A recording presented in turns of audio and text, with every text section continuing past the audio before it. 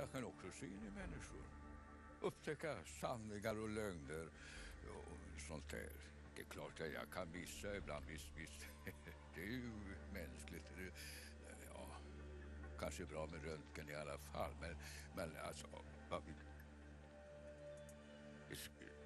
Så, hjärtan och mage och njurar. Ja, men jag kan ju också se in i hjärtan.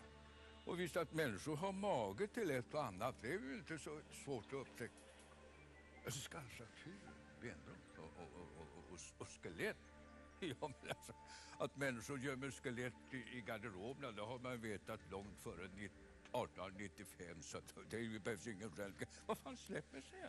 Men, men herregud, ursäkta mig, men vad fan, fan ta röntgen? Jag, är inte ordet fritt här i, i, i Sverige? Eller, jag, nej men släpp mig människa då! Där gick det lite hett till. Hoppas det är bra med Per nu. 1895 vinner ni 1000 kronor julmat och så är det den där dagen idag.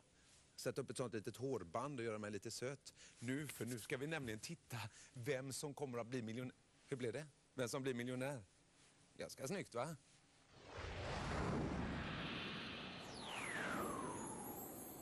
–1839! Grattis!